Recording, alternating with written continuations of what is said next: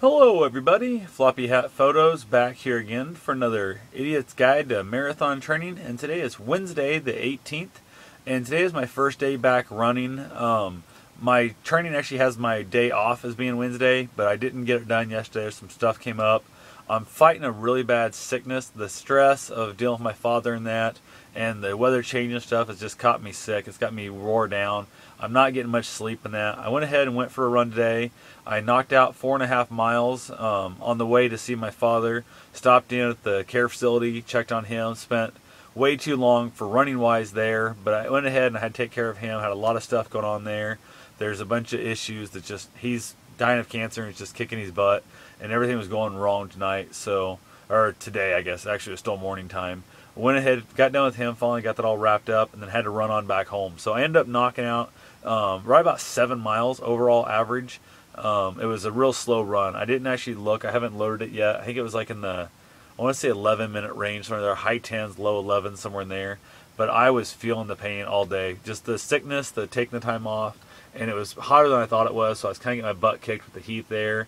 I have not been eating worth of crap, so there's just a lot of things I'm doing wrong in this whole deal. But tomorrow I've got, I think, an eight mile run scheduled is what it calls for tomorrow. Let me see here. Let's see, the 19th, eight mile easy run at 12:49.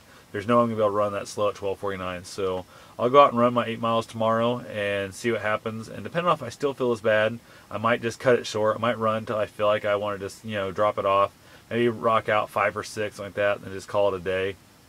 No use in wearing myself down and kicking my own butt that much when it's just not going to help me out in the long run. So other than that, um, not much I got going on with the run. Just like I said, I'm super sore now. It's been I don't know about 12 hours since I got done with my run, and I'm just absolutely whipped. I was down at the farm, been doing other work.